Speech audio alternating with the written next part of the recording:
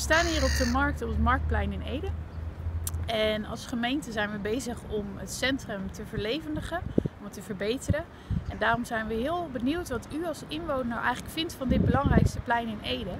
En vooral ook wat u voor dromen heeft voor de markt voor de toekomst. Laten we wat mensen gaan vragen hoe ze dat zien. Ik vind de markt kaal.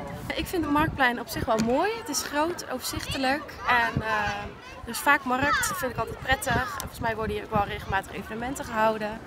En ja, het is gewoon een ideale locatie bij het centrum en de trein. Heel groot. Er gebeurt niks mee. Planten, struiken, bomen. Of bloemen of dergelijke, dat uh, ja, zou ik wel prettig vinden. Ja. Vooral banken zoals dat, hè?